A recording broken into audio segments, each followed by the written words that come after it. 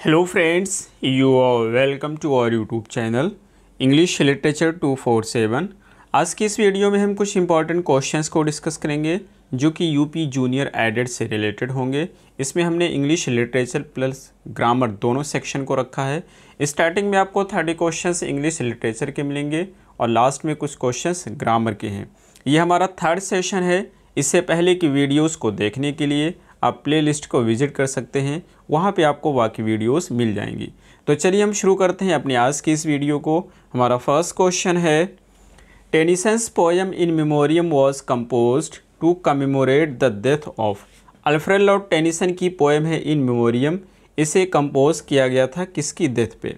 First है Keats, second Shelley, third Arthur Hallam, fourth Wordsworth. Correct answer is C इसे compose किया गया था ऑथर हैंनरी हैलम की मृत्यु पर। अल्फ्रेड लॉर्ड टेनिसन के द्वारा। Next question is second. Arnold's Empedocles on Etna is a. Matthew Arnold की पोएम है एम्पेडोकल्स ऑन एटना। ये किस प्रकार की पोएम है? फ़र्स्ट है ऑप्टिमिस्टिक पोएम, सेकंड है मेलोड्रामेटिक, थर्ड है कलरफुल पोएम, फोर्थ है pessimistic poem. Correct answer is B, melodramatic. Next question is third. Who wrote the essay entitled ये जो ऐसे है, किसके द्वारा लिखा गया था? नाम है on the knocking at the gate in Macbeth इस ऐसे को किसके द्वारा लिखा गया था? फ़र्स्ट है शेक्सपियर सेकंड है डॉक्टर जॉनसन थर्ड है टी ए सिलियट फोर्थ है Thomas De Quincey correct answer is D Thomas De Quincey next question is fourth which of the following poems is not composed in ballad form इसमें की कौन सी एक poem है जिसको ballot form में नहीं लिखा गया है? फ़र्स्ट है ला बेले डैम सेंस मर्सी जिसे लिखा गया है जॉन कीट्स के द्वारा, ये बैलेट फॉर्म में है। सेकंड है एडोनाइस एक एलिजी है, और लिसिडस भी एक एलिजी है। Rime of the ancient mariner लिखा गया है एस टी कॉलरिस के द्वारा, और ये भी बैलेट है। ये कह रहे हैं कि बैलेट कौन सा नहीं है तो इसमें दो ऑप्शन सही होंगे कौन कौन से? सी और बी ये दोनों एलिजी हैं, ये बैलेट नहीं है। Next question is fifth the correct title of Shelley's poem Shelley की पोएम की करेक्ट टाइटल क्या है? फ़र्स्ट है to a skylark second है to the skylark third है द स्काई लार्क फोर्थ है to sky lark correct answer होता है first to a skylark next question is six necessity of atheism was written by necessity of atheism किसके द्वारा लिखा गया था?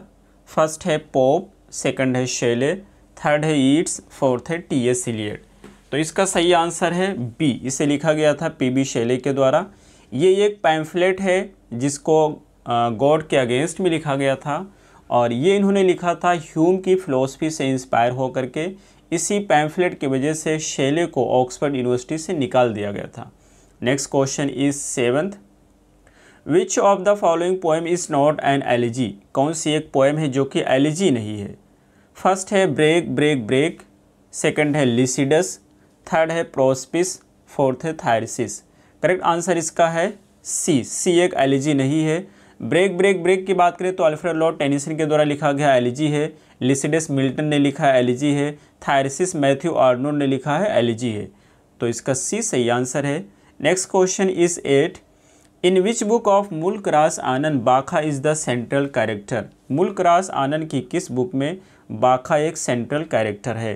First है कूली सेकंड है अनटचेबल थर्ड है the leaves and the bird fourth है the sword and the sickle सही आंसर इसका बी होता है अनटचेबल अनटचेबल मुल्क रास आनंद की बहुत ही फ़ेमस वर्क है, जिसको 1935 में पब्लिश किया गया था, और बाखा इसका हीरो होता है, इसके फादर का नाम लाखा होता है। Next question is ninth for which work has Ernest Hemingway awarded the Nobel Prize अपने किस वर्क के लिए नोबल प्राइज़ को, सॉरी, अर्नेस्ट हेमिंगवे को नोबल प्राइज़ से सम्मानित किया गया था? फ़र्स्ट है the sun also rises, second है for whom the bell tolls, third है the old man and the sea, fourth है अ फेयरवेल टू ऑम्स सही आंसर इसका सी है, the old man and, the old man and the sea. ये बहुत ही famous work है Ernest Hemingway का और इसी के लिए इन्हों, इन्हें नोबल प्राइज़ दिया गया था। Next question is tenth which among the following was not composed by P B Shelley इसमें का कौन सा वर्क है जो पी बी शेले के द्वारा नहीं लिखा गया है? फ़र्स्ट है रिवोल्ट ऑफ़ इस्लाम सेकंड है प्रोमिथियस अनबाउंड थर्ड है द सेंसी फोर्थ है लामिया सही आंसर इसका डी है लामिया लामिया लिखा गया है जोन कीड्स के द्वारा. Next question is eleventh which phrase was not coined by T S Eliot ये आपके पास चार ऑप्शंस हैं. इसमें से कौन सा एक फ्रेज है जो कि टी एस एलियट के द्वारा नहीं क्वाइंड आउट किया गया है, नहीं इंट्रोड्यूस किया गया है? फ़र्स्ट है नेगेटिव कैपेबिलिटी सेकंड है ऑब्जेक्टिव कोरिलेटिव थर्ड है यूनिफिकेशन ऑफ़ सेंसिबिलिटी फोर्थ है dissociation of sensibility correct answer इसका होता है first negative capability coined out किया गया है जोन कीट्स के द्वारा. Next question is twelve Tennyson won the chancellor's medal at Cambridge on his poem Alfred Lord Tennyson को चांसलर का मेडल दिया गया था कैम्ब्रिज यूनिवर्सिटी पर उनकी किस पोएम के लिए? फ़र्स्ट है यूलिसिस, सेकंड है the lady of Shalott third है टिम्बकटू, फोर्थ है lotus eater. Correct answer is C, Timbuktu. Next question is thirteenth. Chaucer's prologue to Canterbury tales opens with the description of the month of. Chaucer का जो prologue है Canterbury tales वो जो है किस चीज़ के डिस्क्रिप्शन से ओपन होता है, यानी कि किस मंथ को डिस्क्राइब किया गया है? फ़र्स्ट है जनवरी सेकंड है मार्च थर्ड है अप्रैल फोर्थ है August correct answer is C April next question is fourteenth term renaissance means renaissance का मतलब क्या होता है? फ़र्स्ट है revival of medieval art second है rebirth of classical learning third है reformation of Catholic church fourth है none of the above correct answer is B rebirth of classical learning next question is fifteenth the prelude of Wordsworth consist of Wordsworth का जो प्रलूड है, उसमें कितनी books हैं? First हैं ten second twelve third fourteen fourth sixteen correct answer C है. इसमें total fourteen books हैं. Next question is sixteenth who wrote the poem Absalom and Achitophel जो एप्सलम एंड एक्टोफल पोएम है, इसको किसके द्वारा लिखा गया था? फ़र्स्ट है जॉन ड्राइडन, सेकंड है जोफ्री चौसर, थर्ड है एडमंड स्पेंसर, फोर्थ है William Langland. Correct answer is first, John Dryden. Next question is seventeenth who is the author of culture and anarchy culture and anarchy एक literary criticism है, जो कि बहुत ही important work है, किसके द्वारा लिखा गया है? फ़र्स्ट है राजा राव सेकंड है जे बी शाह थर्ड है मैथ्यू आर्नोल्ड फोर्थ है George Orwell correct answer is C Matthew Arnold next question is eighteenth who declared himself to be classicist in literature royalist in politics and Anglo Catholic in religion उसने बोला था, मैं classicist हूँ literature में royalist हूँ politics में Anglo Catholic हूँ religion में। ये किसने कहा था अपने बारे में? फ़र्स्ट है फिलिप सिडनी सेकंड है पी बी शेले थर्ड है मैथ्यू आर्नोल्ड फोर्थ है T S Eliot correct answer is D T S Eliot next question is nineteenth which Shakespeare's play has a masque in it Shakespeare का कौन सा play है? जिसके अंदर एक mask है। फ़र्स्ट है a midsummer night's dream second है as you like it third है द टेम्पेस्ट फोर्थ है twelfth night correct answer is C the tempest next question is twentieth a metrical foot consisting of an unstressed syllable followed by stressed syllable ये कहते हैं एक metrical फूट होता है, जिसमें पहले तो अनस्ट्रेस सिलेबल होता है, बाद में स्ट्रेस्ड सिलेबल होता है। जब भी अनस्ट्रेस और स्ट्रेस की बात करेंगे यूएस की बात करेंगे तो ये एम होता है। एम भी खो जाएगा B is the right answer next question is twenty first which of the following poem is written in terza rima terza rima stanza में कौन सी एक पोएम लिखी गई है? फ़र्स्ट है ode to the West Wind second है वो टू आटम थर्ड है वो टू स्काईलार्क फोर्थ है ode to evening correct answer C है। ये बहुत ही फ़ेमस पोएम है पी बी शैली के ode to the West Wind जिसे टर्जा रीमा में लिखा गया है। टर्जा के मतलब होता है थ्री लाइन तो इसको थ्री लाइन स्टेंजा में लिखा गया है। Next question is twenty second which point out the figure of speech in the following line इसमें कौन सी फिगर ऑफ़ स्पीच का प्रयोग किया गया है? To err is human to forgive is divine माफ़ करना, गलती करना इंसानी फिदत है, माफ़ करना दैवीय है। फ़र्स्ट है एंटीथेसिस सेकंड है पैराडॉक्स थर्ड है ऑक्सीमोरॉन फोर्थ है anticlimax correct answer is first antithesis है। एंटीथेसिस में क्या होता है कि हमारे पास दो स्टेटमेंट होते हैं और वो एक दूसरे को कंट्राडिक्ट करते हैं, एक दूसरे का विरोध करते हैं। Next question is twenty three name the figure of speech in the following line इसमें कौन से फिगर ऑफ़ स्पीच का प्रयोग किया गया है? He passed a sleepless night यहाँ पे स्लीपलेस का प्रयोग किया गया है। जब भी हम किसी लिविंग वाला जो क्वालिटी होता है नॉन लिविंग के लिए यूज़ कर देते हैं, उसको हम बोलते हैं ट्रांसफर्ड एपिथेट तो इसका सही आंसर हो जाएगा C transferred epithet next question is twenty four who first used the term sprung rhythm ये जो स्प्रंग रिदम है, इसको सबसे पहले किसने यूज़ किया था? फ़र्स्ट है एफ़ आर लेविस सेकेंड है आई ए रिचर्ड्स थर्ड है जी एम हॉपकिंस फोर्थ है T S Eliot correct answer is C G M Hopkins next question is twenty five Wessex का मतलब क्या होता है? फ़र्स्ट है home town of George Eliot second है the region where Bronte sisters live third है the region in which Hardy's novels are set fourth है an area of Scotland तो इसका सही आंसर सी होता है, एक रीजन होता है, क्षेत्र होता है जहाँ पे थॉमस हार्डी के नॉवल की सेटिंग मिलती है। Next question twenty six Gitanjali by Tagore is a collection of Gitanjali जो कि रविन्द्रनाथ टैगोर के द्वारा लिखी गई थी, और इसमें कितने सॉन्ग्स हैं, कितने सॉन्ग्स का कलेक्शन है।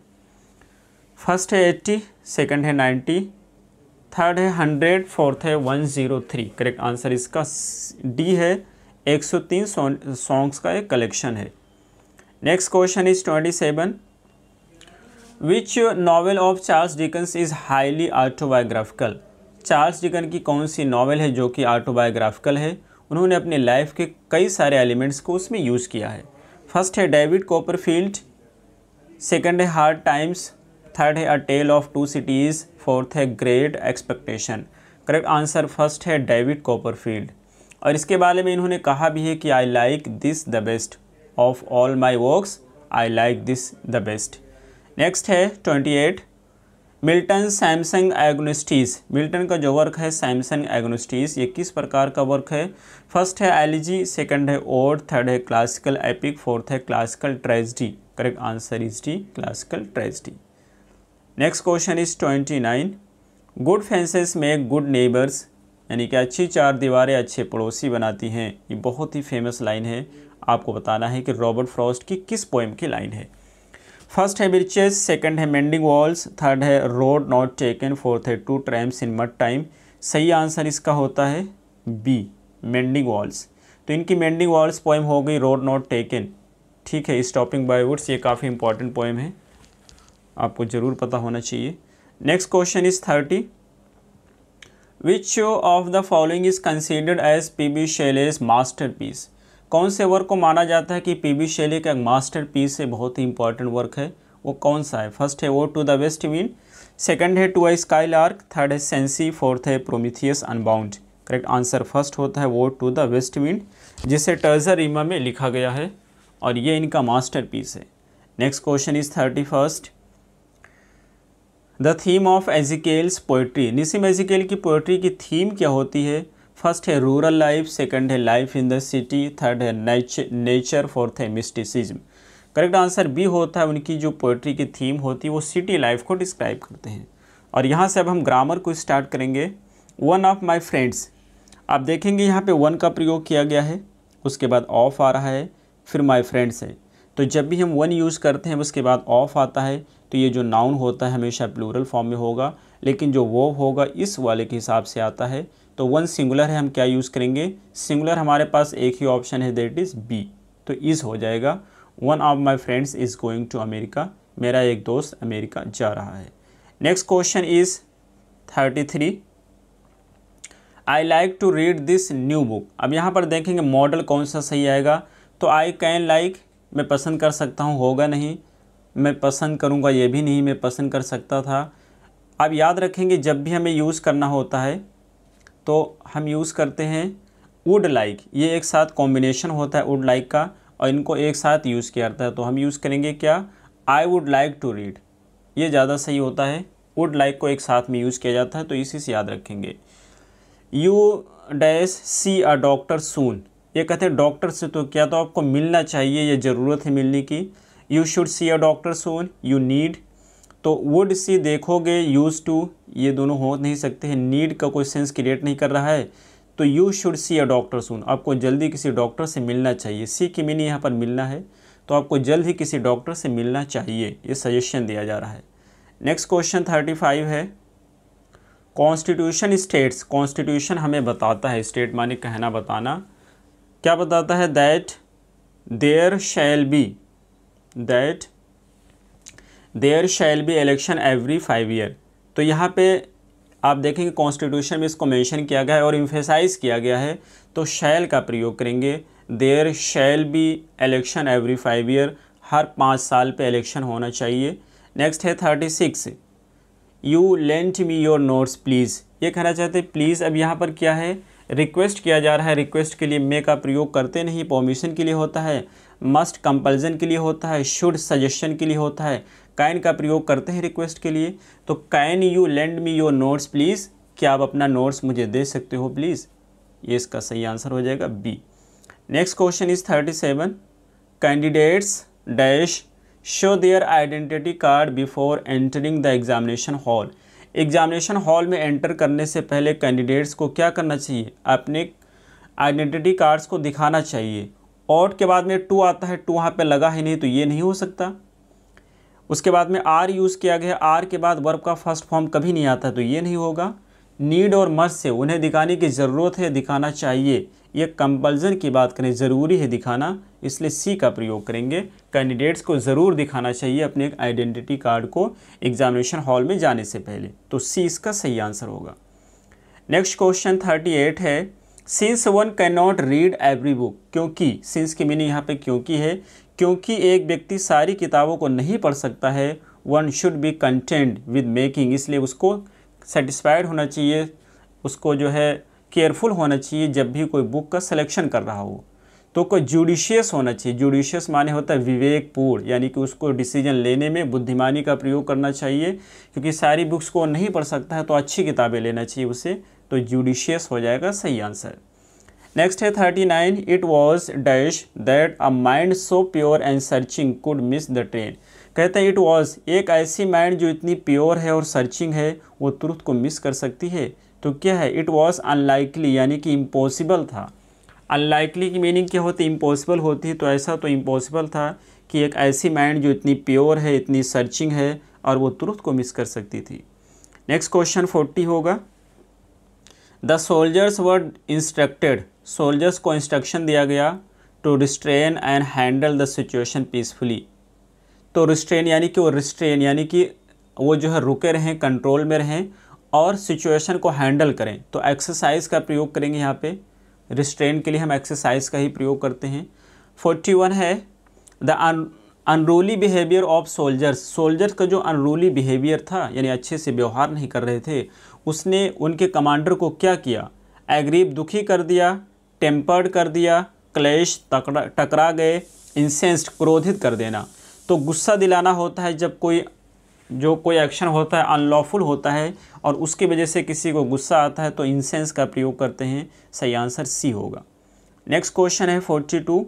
What he says and what he does अब देखेंगे यहाँ पे दो क्लॉज हैं। एक क्लॉज क्या है? वॉट ही सेज एक क्लॉज हो गया। एंड वॉट ही डज दूसरा क्लॉज हो गया। जब दो क्लॉज को एंड से जोड़ा जाता है तो आने वाला वो प्लूरल फॉर्म में आता है। अब आगे देखेंगे नॉट को कोई सेंस क्रिएट नहीं कर रहा है। डज नॉट सिंगुलर हो गया तो डू नॉट प्लूरल है, यही आएगा, क्योंकि इसके बाद आने वाला वो प्लूरल होगा। Next question is forty three sports and games आप बताइए स्पोर्ट्स एंड गेम्स ये सब्जेक्ट कैसा है? प्लूरल है? और जब सब्जेक्ट प्लूरल है तो हम क्या यूज़ करेंगे? तो इसमें से देखिए मेक्स आ नहीं सकता, दो बच्चा मेड आएगा मेक आएगा। आगे सेंटेंस की बात करते हैं तो बुक्स मेक्स यहाँ पे मेक्स का प्रयोग किया गया है रीडिंग यहाँ पे सब्जेक्ट है बुक्स नहीं है तो मेक्स का प्रयोग किया गया है, यहाँ से पता चलता है सेंटेंस हमारा सिंपल प्रेजेंट में है। और जब ये सेंटेंस सिंपल प्रेजेंट में है तो पहले वाला भी सिंपल प्रेजेंट में होगा तो यहाँ पे स्पोर्ट्स और गेम्स ये कैसा है प्लूरल हमारा सब्जेक्ट है तो मेक आ जाएगा। मेड नहीं आएगा क्योंकि प्रेजेंट टेंस की बात कर रहे हैं। नेक्स्ट क्वेश्चन फोर्टी फोर है। फिफ्टी माइल्स हम याद रखेंगे, जब भी फिफ्टी है सिक्सटी है सेवेंटी है एट्टी है, उसके बाद यदि हमें नाउन यूज़ करना होगा, और उस नाउन में यदि अमाउंट है वेट है हाइट है पीरियड है, या डिस्टेंस है तो ये तो प्लूरल फॉर्म में नाउन होगा, लेकिन आने वाला वो सिंगुलर फॉर्म में होगा। ठीक है fifty miles is a long way अब ऐसे भी समझ सकते हैं, देखिए यहाँ पे आ का प्रयोग किया गया है, यानी कि 50 माइल्स को एक यूनिट की तरह यूज़ किया गया है तो आने वाला वो कैसा होगा? सिंगुलर होगा। तो जब भी ऐसा आता है 50 माइल्स 60 माइल्स 5000 6000 ऐसा करके जब भी आता है, आने वाला वो हमेशा सिंगुलर फॉर्म में होगा। C is the right answer next question is forty five forty five Tom is one of the boys यहाँ पे रिलेटिव प्रोनाउन का प्रयोग करना है। अब याद रखेंगे, जब भी हमें रिलेटिव प्रोनाउन का प्रयोग करना होता है, जैसे कि यहाँ पे हु है तो हु हो दैट हो विच हो, इसके बाद जब हमें ये वो भी यूज़ करना होता है तो ये डिपेंड करता है इससे पहले वाले नाउन पे। अब देखें बॉयज़ कैसा है? आप बोलेंगे प्लूरल है, और जब ये प्लूरल है तो आने वाला वो प्लूरल होना चाहिए। इस सिंगुलर है, होगा नहीं वॉज़ सिंगुलर है, होगा नहीं तो आर प्लूरल है, यही इसका आंसर हो गया। नेक्स्ट क्वेश्चन फोर्टी सिक्स है। अब फोर्टी सिक्स में आप बताएँगे पर्सनस कैसा है? आप बोलेंगे ये तो प्लूरल है, और जब ये प्लूरल है तो इससे पहले एनी नहीं आएगा, हट गया। दिस सिंगुलर के लिए होता है, ये भी नहीं आएगा।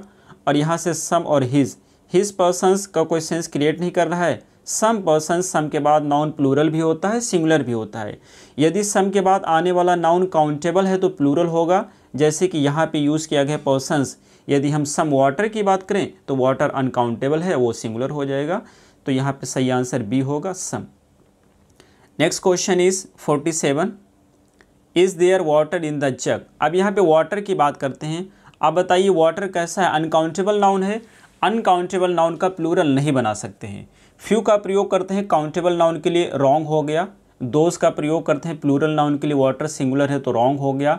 एनी और दिस में से यूज़ करना है तो दिस यहाँ पर नहीं आएगा। याद रखेंगे, जो एनी होता है एनी का प्रयोग हम इंटरोगेटिव सेंटेंस में यूज़ करते हैं और मीनिंग इसकी भी होता है कुछ। ध्यान रखेंगे, इसकी भी मीनिंग कुछ होता है। तो क्या हो जाएगा is there any water in the jug क्या जग में कुछ पानी है? तो एनी इसका सही आंसर होगा, बाकी सारे रॉन्ग हैं। नेक्स्ट क्वेश्चन फोर्टी एट है। ही एट ब्रेड अब ब्रेड की बात करते हैं। ब्रेड एक अनकाउंटेबल नाउन होता है, इसका प्लूरल नहीं बनाते हैं। फ्यू का प्रयोग करते हैं काउंटेबल नाउन के लिए रॉन्ग हो गया। देम ब्रेड कोई सेंस क्रिएट नहीं करता है ये भी रॉन्ग हो गया।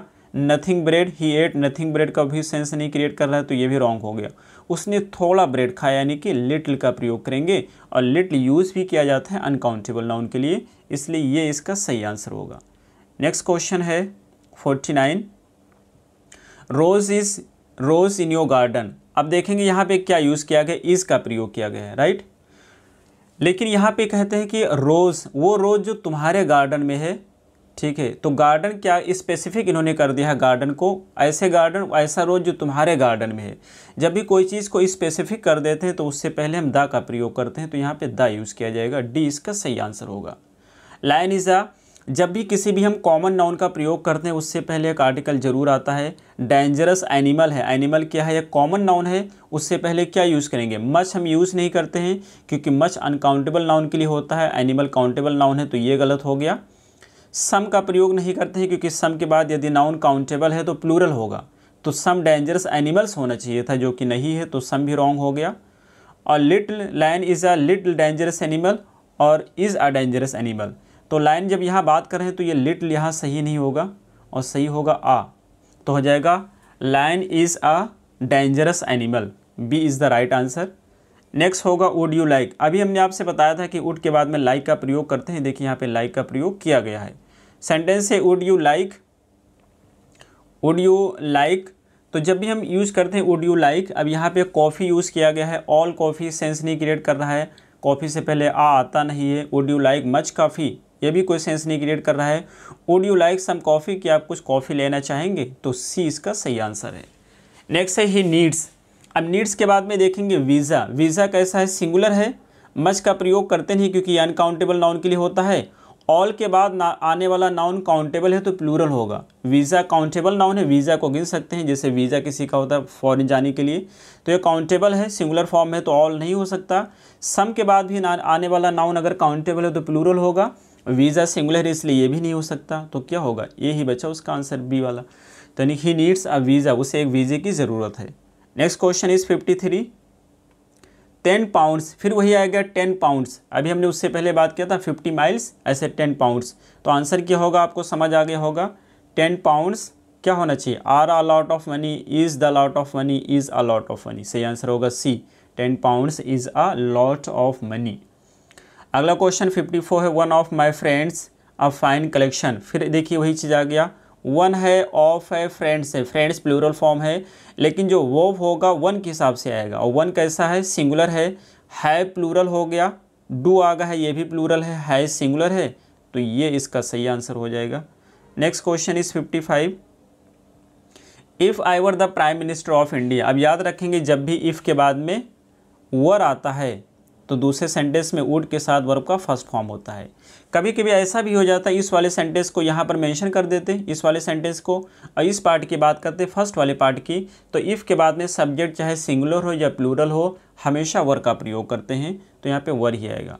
आज का हमारा लास्ट क्वेश्चन है fifty six the dinner smells देखिए यहाँ पे स्मेल यूज़ किया गया एक वर्ब है। और वर्ब को क्वालिफाई करने के लिए हम एडवर्ब का प्रयोग करते हैं। तो आपको लगता होगा इसका वेल सही आंसर होगा, क्योंकि वेल एक एडवर्ब है और गुड एक एडजेक्टिव है। लेकिन नहीं, कुछ ऐसी जगह होती है जहाँ पे हम वर्ब को क्वालिफाई करने के लिए एडजेक्टिव का प्रयोग करते हैं। जैसे यहाँ पे स्मेल है तो स्मेल के लिए हम क्या यूज़ करेंगे? गुड का प्रयोग करेंगे। जैसे हमने कहा कि तुम अच्छे देखते हो तो यू लुक ब्यूटीफुल लुक के बाद हम क्या यूज़ करते हैं? एडजेक्टिव का यूज़ करते हैं। टेस्ट की बात करेंगे, तब भी एडजेक्टिव ही आएगा। तो कुछ ऐसे वर्ड होते हैं जिसके बाद हम एडजेक्टिव का प्रयोग करते हैं एडवर्ब का प्रयोग नहीं करते हैं। स्मेल भी उसी में से एक है तो यहाँ पे गुड का प्रयोग किया जाएगा। आई होप कि ये क्वेश्चंस आपको समझ में आए होंगे। किसी भी क्वेश्चन में कोई डाउट होगा तो आप पूछ सकते हैं। फिर मिलते हैं अगली वीडियो में। Till then take care have a good time